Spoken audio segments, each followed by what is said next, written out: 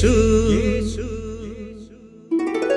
ആരിലും വലിയവൻ വലിയവൻ യേശു യേശു ആരിലും വലിയവൻ വലിയവൻ ആരിലും വലിയവൻ വലിയവൻ സൗഖ്യദായകൻ പാപമോചകൻ സൗഖ്യദായകൻ പാപമോചകൻ യേശുവേഗരക്ഷകൻ യേശുവേഗരക്ഷകൻ കരുണാമയൻ സ്നേഹഗായകൻ. കരുണാമയൻ സ്നേഹഗായകൻ.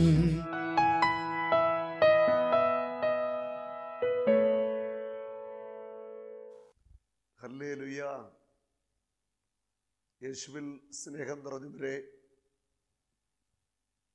ഞങ്ങളൊക്കെ ഒത്തിരിയേറെ പ്രാർത്ഥിക്കുന്നവരും വചനം ശ്രവിക്കുന്നവരുമാണ്.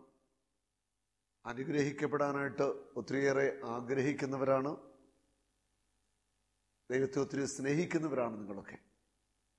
പക്ഷെ നമ്മുടെ ജീവിതത്തിൽ പരീക്ഷണങ്ങളും സഹനങ്ങളും ഒക്കെ ഉണ്ടാകുമ്പോൾ വിശ്വാസ ജീവിതത്തിൽ എത്രമാത്രം നമുക്ക് പിടിച്ചു നിൽക്കാനായിട്ട് പറ്റുന്നുണ്ട്. അതേക്കുറിച്ച് നമ്മൾ ചിന്തിക്കുക. എല്ലാവരെയും ഒത്തിരി സ്നേഹത്തോടെ ഈ വചന ശുശ്രൂഷയിലേക്ക് സ്വാഗതം ചെയ്യുന്നു. കർത്താവ് നിങ്ങൾക്കായിട്ട് ഇന്ന് ഒരു വലിയ പ്രവൃത്തി ചെയ്യും. ഉറപ്പാണ്. വലിയ ഒരു പ്രവൃത്തി നിങ്ങൾക്ക് വേണ്ടി ഈ വചനം കേട്ടുകൊണ്ടിരിക്കുമ്പോൾ കർത്താവ് ചെയ്യും. ആ വലിയ വിശ്വാസത്തിൽ നിന്നുകൊണ്ട് ഈ വചനം കേട്ടുകൊള്ളുക. വിശ്വാസികളുടെ പിതാവായ അബ്രാഹാം അബ്രാഹാം വിശ്വാസികളുടെ പിതാവ് മാത്രമല്ല ഒത്തിരിയേറെ സഹിക്കുന്നവർക്കും ഒരു മാതൃകയാണ്. കാരണം അബ്രാഹത്തിന്റെ ജീവിതത്തിലും ഒത്തിരിയേറെ സഹനങ്ങളും വേദനകളും ദുരിതങ്ങളും ഒക്കെ ഉണ്ടായിട്ടുണ്ട്. അബ്രാഹത്തിന്റെ ചരിത്രം വായിക്കുമ്പോൾ നമുക്കറിയാം. അബ്രാഹത്തോട് ദൈവമായ കർത്താവ് പറയുന്നു ഉൽപ്പത്തി പന്ത്രണ്ടിൽ നീ എല്ലാം ഉപേക്ഷിച്ച് ഞാൻ കാണുന്ന ദേശത്തേക്ക് പോകണം. ഉൽപ്പത്തി പന്ത്രണ്ട് രണ്ട്. നീ ഒരു അനുഗ്രഹമായിരിക്കും. ഞാൻ പറയുന്ന ദേശത്തേക്ക് നീ പോകുക. നീ ഒരു അനുഗ്രഹമായിരിക്കും. നീ മഹത്തമമായ ഒരു ജനതയായിട്ട് മാറും. ദൈവം കൊടുത്ത വാഗ്ദത്വം ഹൃദയത്തിൽ ഉറച്ചു വിശ്വസിച്ചുകൊണ്ട് സ്വന്തം നാടും വീടും വീടും ഒക്കെ വിട്ട് അബ്രാഹാം അവിടെ നിന്ന് യാത്രയാവുക. ദൈവം പറഞ്ഞ ദേശത്തേക്ക്. ഒരു കുഞ്ഞിനു വേണ്ടി ദാഹത്തോടെ വർഷങ്ങളോളം പ്രാർത്ഥിച്ച് കാത്തിരിക്കേണ്ടി വന്നു. ഒത്തിരിയേറെ സഹനത്തിന്റെ വഴികളിലൂടെയൊക്കെ അബ്രാഹാമിന് നടന്നു പോകേണ്ടി വന്നു. ഒരുപക്ഷേ കൂടെയുള്ളവരും കൂട്ടിലുള്ളവരും ഒക്കെ അബ്രാഹത്തെ പരിഹസിച്ചിട്ടുണ്ട്. പക്ഷെ ദൈവത്തിൽ ഉറച്ചു വിശ്വസിച്ചുകൊണ്ട് അബ്രാഹാം ജീവിതത്തെ നേരിട്ടു. ജീവിത ദുരിതങ്ങളെ നേരിട്ടു. അബ്രാഹത്തിനും സാറയ്ക്കും പ്രായമേറെയായി ദൈവത്തിന്റെ വാഗ്ദത്വം ഉണ്ടായിരുന്നു ഞങ്ങൾക്ക് ഒരു മകനെ ലഭിക്കും. വിശ്വസിച്ചു കാത്തിരുന്നു. ആ വിശ്വാസത്തിന്റെ ആ ഒരു കാത്തിരിപ്പിന്റെ ഫലമായിട്ട് അവർക്ക് ദൈവം അനുഗ്രഹിക്കപ്പെട്ടൊരു മകനെ കൊടുത്തു ഇസഹാക്ക്. അല്ലേ ഈ ഇസഹാക്കിനെ ലഭിച്ചതോടെ അവർക്ക് വലിയ സന്തോഷമായി. എനിക്ക് തോന്നുന്നു അവിടെ വിശ്വാസം ഒന്നുകൂടെ ആഴപ്പെട്ടു. ദൈവത്തിലേറെ അവരെ സന്തോഷിച്ചു. പ്രൈസ് ദ ലോട്ട് ഒരു ദിവസം ഇതാ അബ്രാഹത്തോട് ദൈവമറിയ നീ ഒത്തിരി സ്നേഹിക്കുന്ന നിന്റെ മകനെയുമായിട്ട് പോവുക. മകനെ എനിക്ക് വേണ്ടി ബലിയർപ്പിക്കുക. നമ്മൾ ആ സംഭവം വായിക്കുന്നത് ഉൽപ്പത്തി പുസ്തകം ഇരുപത്തിരണ്ടാം അധ്യായത്തിലാണ്. നീ സ്നേഹിക്കുന്ന നിന്റെ ഏകമകൻ ഇസഹാക്കിനെയും കൂട്ടിക്കൊണ്ട് മോറിയാദേശത്തേക്ക് പോവുക. അവിടെ ഞാൻ കാണിച്ചു വരുന്ന മലമുകളിൽ നീ അവനെ എനിക്ക് ദഹനബലിയായി അർപ്പിക്കണം. അബ്രാഹത്തിന്റെ ഹൃദയത്തിലേക്ക് ഒരു വാൾ കുത്തിയിറക്കുന്നത് പോലെയുള്ള ഒരു ഒരു അനുഭവം ഉണ്ടായിട്ടുണ്ട്. സ്വന്തം മകനെ ദഹന ബലിയായിട്ട് കൊടുക്കാനായിട്ട് ദൈവം ആവശ്യപ്പെടുകയാണ്. ഈ മകനെ തന്നു ദൈവമാണ് ഈ മകനെ തന്നവനായ ദൈവം ആ മകനെ തിരിച്ചു ചോദിക്കുക ദഹനബലിയായിട്ട്. അബ്രാഹത്തിന്റെ ഹൃദയത്തിലൂടെ ഒരു വാൾ കടന്നു പോയിട്ടുണ്ട് പുതിയ നിയമത്തിൽ നമ്മൾ കാണുന്നുണ്ട് മറിയത്തിന്റെ ഹൃദയത്തിലൂടെ ഒരു വാൾ കടന്നുപോയി. കല്ലലുയ തന്റെ പ്രിയപുത്രൻ കുരിശിൽ കിടന്ന് അപമാനം ഏറ്റുവാങ്ങി പിടഞ്ഞു മരിക്കുമ്പോൾ ഒരു വാൾ മറിയത്തിന്റെ ഹൃദയത്തിലൂടെ കിടന്നുപോയി. അപരാഗത്തിന്റെ ഹൃദയത്തിൽ ഒത്തിരി സങ്കടമുണ്ടായിരുന്നു. ഇക്കാരി ഒന്നും സാറായിയോട് പറഞ്ഞില്ല. ഒരു ദിവസം അതിരാവിലെ അബ്രാഹാം എഴുന്നേറ്റ് കഴുതയ്ക്ക് ജീനിയൊക്കെ ഇട്ട് മകൻ ഇസഹാക്കിനെ കൂട്ടി ബലിക്ക് വേണ്ട വിറകും കിരിയെടുത്ത് ദൈവം പറഞ്ഞ സ്ഥലത്തേക്ക് പുറപ്പെട്ടു. വിറക് ചുമക്കുന്നത് മകനായ ഇസഹാക്ക. ദൈവപിതാവ് തന്റെ പുത്രനായ യേശുവിനെ ഭൂമിയിലേക്ക് അയച്ചു. ആ മകൻ കുരിശെന്ന ആ മരക്കഷ്ണവുമേറിക്കൊണ്ട കാൽവരിയിലേക്ക് യാത്രയായത്. ദൈവപിതാവിന്റെ ഇഷ്ടപ്രകാരം പുത്രൻ കുരിശുമൊക്കെയാണ് ഇവിടെ ഇതാ അബ്രഹാം പിതാവ് തന്റെ മകനെ മോറിയ ദേശത്ത് മോറിയ മലയിലേക്ക് കൊണ്ടുപോവുക ബലിയപ്പിക്കാനായിട്ട്. മകൻ വിറക് ചുമടുമായിട്ട് നടക്കുമ്പോൾ അബ്രാഗത്തിന്റെ കണ്ണുകൾ നിറഞ്ഞൊഴുകിയിട്ടുണ്ട്. അബ്രാഹാം പിതാവിന്റെ മനസ്സ് ഒത്തിരിയേറെ നീറിയിട്ടുണ്ട്. ഒത്തിരി വേദനിച്ചിട്ടുണ്ട്.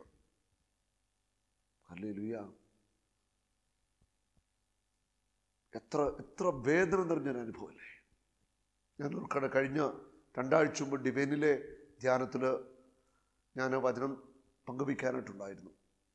അവിടെ ഒരു കുഞ്ഞിനെയുമായിട്ട് ഒരു അമ്മയും അപ്പനും ഒക്കെ പ്രാർത്ഥിക്കാൻ വന്നിട്ട് മൂന്നാമത്തെ കുട്ടിയാണ് ഈ ഭൂമിയിലേക്ക് പിറന്നു വീണ കുഞ്ഞിന് ശരീരം തളർന്നതാ. കഴുത്തിന് വരവില്ല. വേണ്ട ഒന്നര വയസ്സ് കഴിഞ്ഞു സംസാരിക്കത്തില്ല. കിടന്ന കിടപ്പിൽ കിടക്കുന്ന ഒരു കുഞ്ഞിനെയുമായിട്ട് അവർ പ്രാർത്ഥിക്കാനായിട്ട് വന്നു. ഞാൻ വലിയ സ്നേഹത്തോടെ ആ കുഞ്ഞിന്റെ തലയിൽ കൈവച്ച് പ്രാർത്ഥിച്ചു. സംസാരിക്കത്തില്ല ചിരിക്കത്തില്ല ഒച്ച വെക്കത്തില്ല കഴുത്തിന് ബലമില്ല ശരീരത്തിന് ബലമില്ല ബലമില്ലാത്തൊരു കുഞ്ഞ്. ആ കുഞ്ഞിന്റെ പിതാവിന്റെ വേദന ആ കുഞ്ഞിന്റെ അമ്മയുടെ വേദന എത്ര എത്ര കഠിനമായിരിക്കും അല്ലേ? ഇതുപോലെ മക്കൾക്ക് ബലഹീനതകൾ ഉണ്ടെങ്കിൽ രോഗങ്ങളുണ്ടെങ്കിൽ വേദനിക്കുന്ന എത്രയോ എത്രയോ മാതാപിതാക്കന്മാർ. ഒരിക്കൽ ഒരപ്പൻ എന്റെ അടുക്കൽ വന്ന് പറഞ്ഞ വലിയൊരു വേദന ഞാൻ പങ്കുവയ്ക്കാം. ഒരേ ഒരു മകൻ പ്ലസ് ടു വരെ ആയിട്ടുള്ളൂ. മദ്യത്തിനും കഞ്ചാവിനും സകല പാപങ്ങൾക്കും അടിമയാണവൻ. അപ്പനോ അമ്മയോ പറയുന്നത് അനുസരിക്കത്തില്ല. അവൻ ആവശ്യത്തിന് വേണ്ട സമ്പത്ത് വീട്ടിൽ നിന്ന് മോഷ്ടിച്ചുകൊണ്ട് പോകും ഇല്ലെങ്കിൽ കിട്ടുന്ന വസ്തുക്കൾ എടുത്തുകൊണ്ടുപോയി വിൽക്കും. അവനവന്റെ കൂട്ടുകാരും കൂടി ദൂർത്തടിച്ച ജീവിതമാണ്. അപ്പനുമായിട്ട് വടക്കുണ്ടാക്കി വില കൂടിയ ബൈക്ക് വാങ്ങിപ്പിച്ചു. അപ്പന് ഇഷ്ടമുണ്ടായിട്ടല്ല. നിവൃത്തിയില്ല. മകനെ ഭയപ്പെട്ട ഇന്ന് അപ്പനും അമ്മയും ജീവിക്കുന്ന ഒരു ഒരവസ്ഥയിലൂടെ കടന്നു പോവുകയാണ് ആ പിതാവിന്റെ ഹൃദയമൊക്കെ ചുട്ടുപൊള്ളുന്ന മരുഭൂമി പോലെയാ. മകനെയോർത്ത് കണ്ണുനീരോടെ പ്രാർത്ഥിക്കുക. ഇതുപോലെ വേദനിക്കുന്ന പിതാക്കന്മാർ ധാരാളമായിട്ട് ഈ ഭൂമിയിലുണ്ട്. അഞ്ചു ആറ് മക്കൾക്കൊക്കെ ജന്മം നൽകി വളർത്തി വലുതാക്കി അവരൊക്കെ സമ്പത്ത് തേടി ജോലി തേടി വിദേശങ്ങളിലേക്ക് പോയി. എല്ലാവരും കുടുംബമായിട്ട് വിദേശങ്ങളിൽ താമസിക്കുന്നു. നാട്ടിലിതാ അപ്പനും അമ്മയും മാത്രം. ഒരു ദിവസം കൂട്ടിന് ദൈവം കൊടുത്ത ഇണ ജീവിത പങ്കാളി മരണത്തിലൂടെ വേർപെട്ടു ഒറ്റയ്ക്കായി. അങ്ങനെ പ്രായമായി രോഗിയായി വീട്ടിൽ കഴിയുന്ന പിതാക്കന്മാർ ഇതുപോലെ അമ്മമാരും ജീവിക്കുന്നുണ്ട്. മക്കളെയും കൊച്ചുമക്കളെയും അടുത്തു കിട്ടുന്നില്ല സ്നേഹിക്കുവാൻ സ്നേഹം കൊടുക്കുവാൻ. ഇതൊക്കെ പിതാക്കന്മാരുടെ ഹൃദയത്തിന്റെ വേദനകളാണ് അമ്മമാരുടെ ഹൃദയത്തിന്റെ നൊമ്പരങ്ങളാ. ഇന്ന് ഇതൊക്കെ. ഇതൊക്കെ ഇന്ന് സർവസാധാരണമായിട്ട് നമ്മൾ കാണുന്നത്. ഇവിടെ ഇതാ അബ്രാഹാം പിതാവിന് തന്റെ പൊന്നോ മകന് മകനെ ദഹനബലിയായിട്ട് കൊടുക്കാനായിട്ട് പോവുകയാണ്. ഹൃദയത്തിൽ വേദനയും സങ്കടമൊക്കെ ഉണ്ടെങ്കിലും മൂന്ന് ദിവസത്തെ നടപ്പ് ദൂരം മൂന്ന് ദിവസം നടന്നു തലയുയർത്തി നോക്കി അങ്ങ് മോറിയാമല കാണുക മൂന്ന് ദിവസത്തിന് ശേഷമാണ് തലയുയർത്തി നോക്കുന്നത്. ദൈവം പറഞ്ഞ സ്ഥലത്തേക്ക് പുറപ്പെട്ടു. മൂന്നാം ദിവസം അവൻ തലയുയർത്തി നോക്കിയപ്പോൾ അകലെ ആ സ്ഥലം കണ്ടു. മൂന്നാം ദിവസമാണ് തലയുയർത്തി നോക്കിയത്. ആ മൂന്ന് ദിവസം അബ്രാഹാം പിതാവ് കുനിഞ്ഞു നടന്നിട്ടുണ്ട്. ഇടയ്ക്കൊക്കെ ഇങ്ങനെയൊക്കെ ഒന്ന് തലയുയർത്തി കാണും. നടക്കണം കാരണം കണ്ണിലൂടെ ഒഴുകുന്ന കണ്ണുനീര് മകൻ കാണരുത്. അവൻ വിറകിട്ടുമായിട്ട് മുന്നേ നടക്കുകയാണ്. പലപ്പോഴും ഈ അബ്രഹാം പിതാവ് കണ്ണുനീരൊക്കെ തുടച്ചിട്ടുണ്ട്. ഒരപ്പനല്ലേ ഉറപ്പായിട്ട് വേദന ഉണ്ടാവും. എങ്കിലും ഉള്ളിന്റെ ഉള്ളിൽ അബ്രാഹാം പിതാവിന് ഒരു വലിയ വിശ്വാസമുണ്ടായിരുന്നു. ഈ മകനെ തന്ന ദൈവം ഈ മകനെ എന്നിൽ നിന്ന് എടുക്കത്തില്ലെന്നൊരു വിശ്വാസം.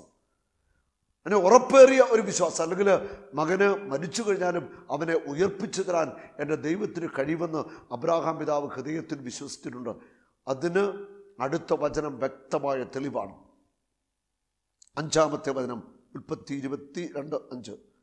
അവൻ വേലക്കാരോട് പറഞ്ഞു കഴുതയുമായി നിങ്ങൾ ഇവിടെ നിൽക്കുക. ഞാനും മകനും അവിടെ പോയി ആരാധിച്ചു തിരിച്ചു വരാം. അല്ലേ ലുയാ അബ്രാഹാം പിതാവ് പറയുക കൂടെയുള്ള ജോലിക്കാര് അവരോട് നിങ്ങൾ ഇവിടെ നിൽക്കുക. ഞാനും മകനും ദൈവത്തെ ആരാധിച്ചിട്ടു തിരിച്ചു വരാം. മകനെ ദഹനബലിയായിട്ട് കൊടുക്കാൻ പോകുന്ന പിതാവ് ഞങ്ങൾ ദൈവത്തെ ആരാധിച്ചിട്ട് തിരിച്ചു വരാം. അബ്രാഹാമിന്റെ ഉള്ളിൽ ഒരു അടിയുറച്ച വിശ്വാസമുണ്ട്. ഞാൻ എന്റെ ദൈവത്തെ ആരാധിക്കും. ഞാൻ എന്റെ ദൈവത്തെ മഹത്വപ്പെടുത്തും. മകനെ ദഹനബലിയായിട്ട് കൊടുക്കുന്നത് വലിയൊരു ആരാധന തന്നെയാണ് അതിന് വലിയൊരു ആരാധനയില്ലല്ലോ. മകനെ ദൈവത്തിന് വിട്ടുകൊടുക്കുകയാണ് പിതാവ്. ആരാധിച്ചിട്ട് തിരിച്ചു വരാം. അല്ലേലുയ ആരാധിച്ചിട്ട് തിരിച്ചു വരാം. ഇത് അബ്രാഹത്തിന്റെ വിശ്വാസമായിരുന്നു. മകനെ തനിക്ക് നഷ്ടമാവത്തില്ല. മകനെ ദൈവം എടുക്കത്തില്ല. മകൻ മരിക്കാൻ ദൈവം അനുവദിക്കത്തില്ല. മരിച്ചാൽ അവനെ ഉയർപ്പിച്ചു തരാൻ എന്റെ ദൈവത്തിന് കഴിയും. എന്റെ ഹോവായ്ക്ക് കഴിയുമെന്ന് അബ്രാഹാം കണ്ണുമടച്ച് വിശ്വസിച്ചിട്ടുണ്ട്. ഞങ്ങൾ അവനെ ആരാധിച്ചു തിരിച്ചു വരാം. ആരാധിക്കുമ്പോഴാ ദൈവത്തിന്റെ ഇടപെടലുണ്ടാവുന്നത്. The മക്കളില്ലാതിരുന്ന ഹന്ന അവൾ ദേവാലയത്തിലെ കണ്ണുനീരോടുകൂടെ ചുണ്ടുകളൊക്കെ വിതുമ്പിയിരുന്ന കരഞ്ഞ് ആരാധിച്ചു പ്രാർത്ഥിച്ചു. അപ്പോഴാണ് ഏലി പുരോഹിതൻ അനുഗ്രഹിക്കുന്നത് മക്കളെ ലഭിക്കുന്നത്. ആരാധിച്ചു ദൈവത്തെ ആരാധിച്ചു. ദൈവത്തെ നമ്മൾ ആരാധിക്കുന്നവരായിട്ട് മാറണം നമ്മുടെ ആരാധന ദൈവത്തിന് പ്രീതികരമാകണമെങ്കിൽ ആദ്യം നമ്മുടെ ഹൃദയം നിർമ്മലമാകണം. പരിശുദ്ധമായ ഹൃദയത്തോടെ നിർമ്മല മനസ്സാക്ഷിയോടെ പരിശുദ്ധമായ ശരീരത്തോടുകൂടി വേണം ദൈവത്തെ ആരാധിക്കാൻ. ഈ ശരീരം പരിശുദ്ധാത്മാവിന്റെ ആലയമാണ്. ദൈവത്തെ ആരാധിക്കാൻ പോകുന്നവര് അവന്റെ മനസ്സ് ശരീരം ആത്മാവ് നിർമ്മലമായിരിക്കണം പരിശുദ്ധമായിരിക്കണം. ഇവിടെ അബ്രാഹാം പിതാവിന്റെ മനസ്സും ശരീരം ആത്മാവും ഒക്കെ നിർമ്മലം തന്നെയാണ്. തന്റെ മകനെ പൂർണ മനസ്സോടെ ദഗനബലിയായിട്ട് കൊടുക്കാനായിട്ട് പോകുന്നൊരു പിതാവ്. അല്ലേലുയ എത്ര വലിയ ഒരു ഒരു ഒരു ഒരു ഒരു സമർപ്പണമായത്. ഇതാണ് സമർപ്പണം. ദൈവത്തിനു വേണ്ടി എല്ലാം വിട്ടുകൊടുക്കുന്ന സമർപ്പണം. ആരൊക്കെ സമർപ്പണത്തിലേക്ക് വന്നിട്ടുണ്ടോ? ആഴമായ സമർപ്പണം നടത്തിയിട്ടുണ്ടോ? അവരെയൊക്കെയാണ് കർത്താവ് അനുഗ്രഹിച്ച് ഉയർത്തിയിട്ടുള്ളത്. ഇനിയും ഉയർത്തുകയും ചെയ്യും. ഹല്ലുയ മകൻ ഇസ്ഹാക്കിന്റെ ചുമലിലെ വിറകെടുത്ത് മകൻ ഇസ്ഹാക്കിന്റെ അബ്രാഹാം തികരമേലേക്കുള്ള വിറകെടുത്ത് മകൻ ഇസ്ഹാക്കിന്റെ ചുമലിൽ വെച്ചു. കത്തിയും തീയും അവൻ തന്നെ എടുത്തു. കത്തിയും തീയും ആരെടുത്തു? അബ്രാഹാം പിതാവ് എടുത്തു. മകന്റെ തോളിൽ വിറകെടുത്ത് വെച്ചു കൊടുത്തു. എന്നിട്ട് അവർ ഒരുമിച്ച് മുൻപോട്ട് നടന്നു. ഒരുമിച്ച് മുൻപോട്ട് നടന്നു. കാൽവരിയിലേക്ക് മാനവരാശിയുടെ പാപത്തിന്റെ ചുമട് വഹിച്ചുകൊണ്ട് കുരിശുമായിട്ടുള്ള യേശുവിന്റെ യാത്ര. ആ യേശുവിന്റെ ആ പീഡാസഹന യാത്രയിൽ പാപത്തിന്റെ ഭാരം ചുമത്തപ്പെട്ട ക്രിസ്തു കുരിശിൽ നിലവിളിക്കുന്നുണ്ട്. എന്റെ പിതാവേ എന്റെ പിതാവേ എന്തുകൊണ്ട് എന്നെ ഉപേക്ഷിച്ചു? അല്ലില്ല എല്ലാവരും ഉപേക്ഷിക്കപ്പെടുമ്പോൾ കർത്താവ് നിന്നെ മാറോട് ചേർക്കും നെഞ്ചോട് ചേർക്കും. കർത്താവ് നിന്റെ കൂടെയുണ്ട്. കർത്താവിന് നിന്നെ ഒരിക്കലും ഉപേക്ഷിക്കാനായിട്ട് പറ്റില്ല. അല്ലേ അല്ലേലുയ്യ ഇസഹാക്ക് ചോദിക്കുന്നു തീയും വിറകമുണ്ടല്ലോ. എന്നാൽ ദഗനമെനിക്കുള്ള കുഞ്ഞാടെവിടെ? അവൻ മറുപടി പറഞ്ഞു ബലിക്കുള്ള കുഞ്ഞാടിനെ ദൈവം തന്നെ തരും. അവരൊന്ന് മുമ്പോട്ട് നടന്നു. മകൻ ചോദിക്കുക ദഗനമെനിക്കുള്ള കുഞ്ഞാടെവിടെ? അബ്രാഹാം പിതാ പറഞ്ഞു കുഞ്ഞാടിനെ ദൈവം നമുക്ക് നൽകും. മോറിയ മലയിൽ എത്തിച്ചേർന്നു. തന്റെ മകനെ ബലമായിട്ട് പിടിച്ച് കൈയും കാലുമൊക്കെ കെട്ടി വിറക് നിരത്തി വെച്ചിട്ട് ആ വിറകിന്റെ മേൽ മകനെ കിടത്തുകയാ. എത്ര സങ്കടകരമായ കാഴ്ചയാ. മകന്റെ കൈയും കാലും ഒക്കെ പിടിച്ചു കെട്ടുക. ആ മകൻ നിലവിളിച്ചിട്ടുണ്ട്. അപ്പ എന്നെ വിടണം. എന്നെ കൊല്ലരുതെന്ന് നിലവിളിച്ചിട്ടുണ്ട്. അബ്രാഹാം പിതാവ് വിശ്വാസത്തിൽ ഉറച്ചു നിന്നുകൊണ്ട് ദൈവം പറഞ്ഞത് അതേപടി അനുസരിക്കുക. കത്തിയെടുത്ത് കുത്തുവാൻ തുടങ്ങിയപ്പോൾ മകനെ കൊല്ലുവാൻ തുടങ്ങിയപ്പോൾ ഇതാ ദൈവത്തിന്റെ ദൂതൻ കടന്നു വന്നിട്ട് പറയുകയാണ് മകനെ തുടരുത്. അവനെ തുടരുത്. കുഞ്ഞിന്റെ മേൽ കത്തിവെക്കരുത് കർത്താവ് നമ്മുടെ ജീവിതത്തിൽ ഇടപെടും. കൃത്യസമയത്ത് അവൻ ഇടപെടും. തക്ക സമയത്ത് ഒരു മിനിറ്റ് മുൻപോട്ടോ പുറകോട്ടോ മാറത്തില്ല. തക്ക സമയത്ത് സ്വർഗത്തിന്റെ ഇടപെടൽ നിന്റെ ജീവിതത്തിലുണ്ടാവും. ഹല്ലേലൂയ. ഹല്ലേലൂയ. നിർണായക നിമിഷങ്ങളിൽ കർത്താവിന്റെ അതിശക്തമായ ഇടപെടൽ നിന്റെ ജീവിതത്തിന് മേൽ ഉണ്ടാവും. ഈ ദൈവദൂതിന്റെ സ്വരം കേട്ടപ്പോൾ അബ്രഹാം പിതാവ് തിരിഞ്ഞു നോക്കി. അബ്രാഹാം പിതാവ് അവനോട് പറയും അബ്രാഹാം പിതാവ് തിരിഞ്ഞു നോക്കുമ്പോൾ കാണുന്നത് മുള്ളുകൾക്കിടയിൽ ഉടക്കിക്കിടക്കുന്ന ഒരു കുഞ്ഞാടിനെ അബ്രാഹാം കാണുകയാണ്. കുഞ്ഞാടുകൾക്ക് ഒരു കുഞ്ഞാട് മുള്ളുകൾക്കിടയിൽ ഉടക്കിക്കിടക്കുന്ന ഒരു കുഞ്ഞാട് അബ്രാഹാം തലയുയർത്തി നോക്കിയപ്പോൾ മുൾച്ചെടികളിൽ കൊമ്പുടക്കി കിടക്കുന്ന ഒരു മുട്ടാടിനെ കണ്ടു. അവൻ അതിനെ മകന് പകരം ദഗൻബലിയെ അർപ്പിച്ചു. അബ്രാഹാം ആ സ്ഥലത്തിന് യാഹ്വേ ഇരേ എന്ന പേരിട്ടു. കർത്താവിന്റെ മലയിൽ അവിടുന്ന് വേണ്ടത് പ്രദാനം ചെയ്യും. യാഹ്വേ ഇരേ എന്ന് പറഞ്ഞാൽ കർത്താവ് വേണ്ടത് പ്രദാനം ചെയ്യും. മുള്ളുകൾക്കിടയിൽ ഉടക്കിക്കിടക്കുന്ന ഒരു മുട്ടാടിനെ ദൈവം കൊടുക്കണം ആ മുട്ടാടിനെ അബ്രാഹാം ബലിയപ്പിക്കുക യാഹ്വേ ഇരേ നിനക്ക് വേണ്ടത് കർത്താവ് നിനക്ക് തരും. തക്ക സമയത്ത് നിനക്ക് വേണ്ടത് കർത്താവ് തരും. കർത്താവ് നിനക്കായിട്ട് കരുതിയിട്ടുണ്ട്. അബ്രാഹാം പിതാവിന് വലിയായി കൊടുക്കുവാൻ ഒരു മുട്ടാടിനെ കരുതിയ ദൈവം നിനക്ക് വേണ്ടത് കരുതി വെച്ചിട്ടുണ്ട്. അത് ജോലിയാകാം സമ്പത്താവാം മക്കളാവാം വീടാകാം അനുഗ്രഹമാകാം ആത്മീയ കൃപാവരങ്ങളാകാം. എന്തുമാവട്ടെ നിനക്ക് വേണ്ടത്? ദൈവം കരുതി വെച്ചിട്ടുണ്ട് കരുതി വെച്ചിട്ടുണ്ട് കരുതി വെച്ചിട്ടുണ്ട്. യാഹുവേ ഇരേ. നിനക്ക് വേണ്ടത് തക്ക സമയത്ത് അവൻ തരും. അവൻ കരുതി വെച്ചിട്ടുണ്ട്. ഇത് കണ്ണുമടച്ച് ഹൃദയത്തിൽ വിശ്വസിക്കണം. കർത്താവ് എനിക്കായിട്ട് കരുതി വെച്ചിട്ടുണ്ട്. ഒന്നിനും കുറവുണ്ടാവത്തില്ല. നമുക്ക് കരമെത്തി സ്തുതിച്ചു നന്ദി പറയാം. ഹലലൂയ യേശുവെ സ്തോത്രം. യേശുവെ നന്ദി. കർത്താവെ എനിക്ക് വേണ്ടതെല്ലാം അങ്ങ് കരുതി വെച്ചിട്ടുണ്ട്. ഒന്നിനും കുറവുണ്ടാകാത്തവണ്ണം അങ്ങ് പരിപാലിക്കും. നന്ദി പറയുന്നു സ്തുതിക്കുന്നു സ്തുതിക്കുന്നു. എനിക്കായി അങ്ങ് കരുതി വെച്ചിരിക്കുന്ന അനുഗ്രഹങ്ങളെ നന്മകളെ ഓർത്ത് നന്ദി പറയുന്നു. യേശുവെ നന്ദി. യേശുവെ സ്തുതി. ഹല്ലേ ലൂയ ക്രൈസ്തലോ ഈ മകന്റെ വീട് കാഞ്ഞിരപ്പള്ളിയിലാണ് എ ബി. ഗ്രാൻഡ തൊടുപുഴയാണ് വീട്. കുട്ടി ആൺകുട്ടിയോ പെൺകുട്ടിയോ? ആൺകുട്ടി. ഒന്ന് തിരിച്ചു പിടിച്ച കാണത്ത് എത്ര വർഷം കൂടിയ കർത്താവ് തന്നത്? രണ്ട് വർഷത്തിന് ശേഷമാണ് ഈ കുഞ്ഞിനെ കർത്താവ് കൊടുത്തത്. ആ സാക്ഷ്യം നമുക്കൊന്ന് കേൾക്കാം.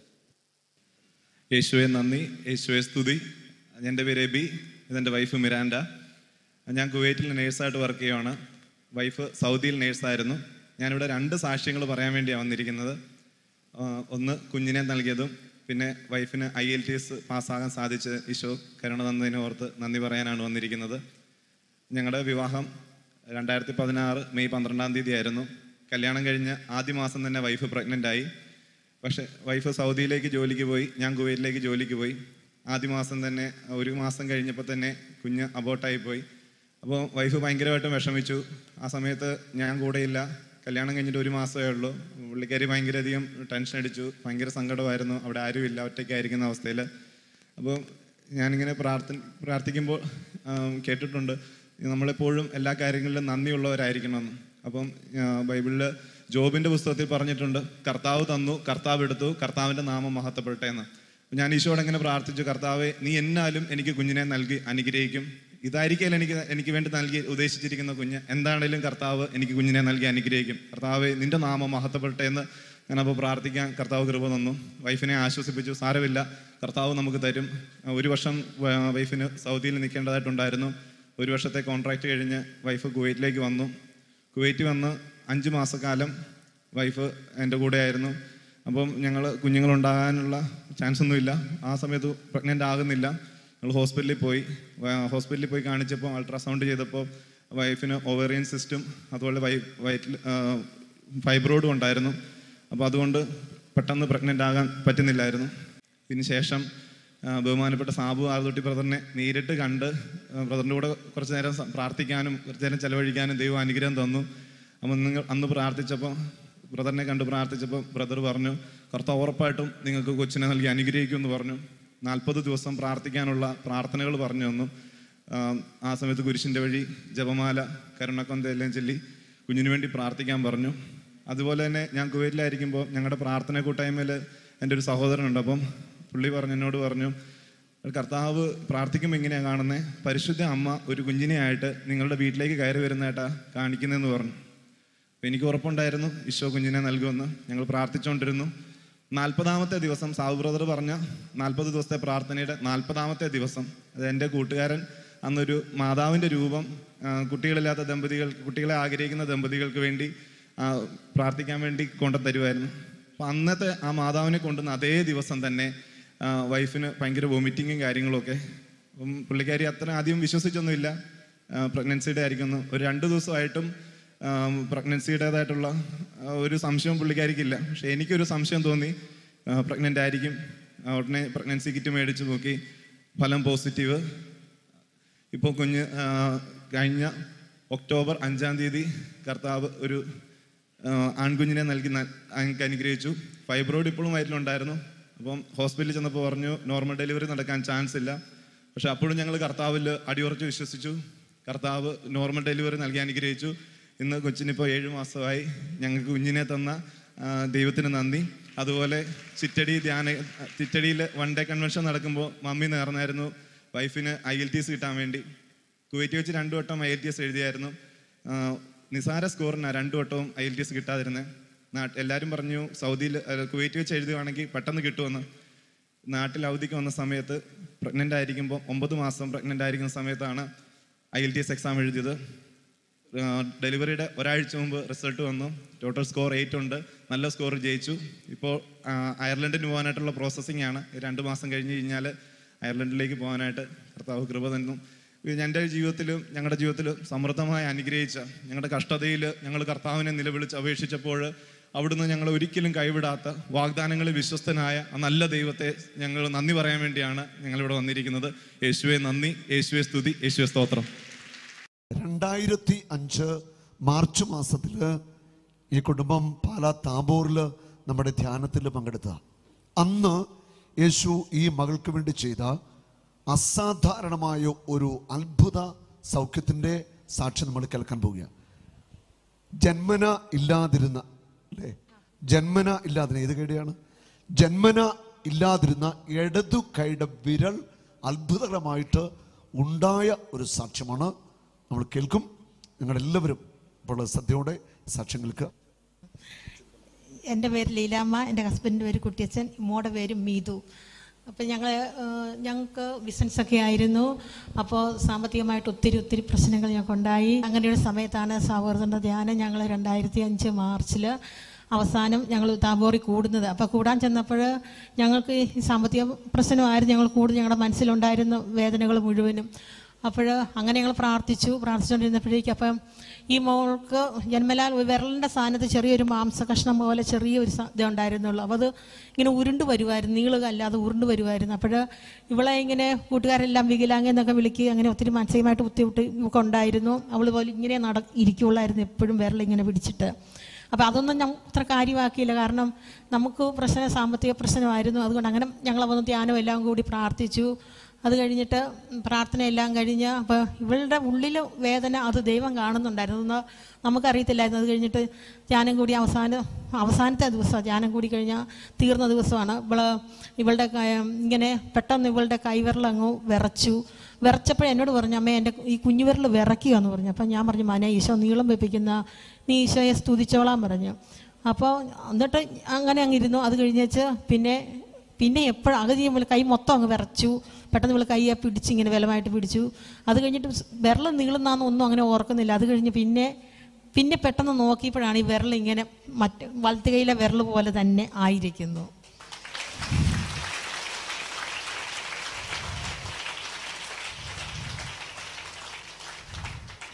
യോഹന്നാൻ പതിനാറ് ഇരുപത്തിയൊന്ന്.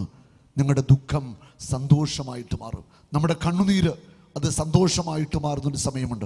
ഈ കുടുംബത്തിന്റെ കണ്ണുനീരും വേദനകളും കണ്ട ദൈവം ഉറപ്പായിട്ടും നമ്മുടെയും കണ്ണുനീര് കാണുന്നുണ്ട്. നമ്മൾ നിന്റെ കയ്യിൽ നിന്ന് കാണിച്ച്. നിങ്ങൾക്ക് കാണാം. ഈ വിരൽ കണ്ടോ? നിങ്ങൾ കാണും. രണ്ടും ഒരുപോലെ തന്നെയാണ് ഇരിക്കുന്നത് ഹലലൂയ്യ ഈ ഇടത്തുകൈയുടെ വിരലാണ് ഇവിടെ മാത്രമായിരുന്നു ഒരു നഖം മാത്രം. ബാക്കി തൊണ്ണൂറ് ശതമാനം ഈ വിരൽ അത്ഭുതകരമായിട്ട് സൃഷ്ടിക്കപ്പെട്ടതാണ്. കർത്താവ് സൃഷ്ടിച്ചതാണ്. രണ്ട് വിരലും ഒരുപോലെ തന്നെയാണ്. നോക്കുക. ദൈവം ചെയ്ത ഒരു അത്ഭുത പ്രവൃത്തിയാണിത്. ഹാലലൂയ്യ യേശുവേ യേശുവേ നീ മാത്രം ഉന്നതൻ യേശുവേ യേശുവേ നീ മാത്രം രക്ഷകൻ.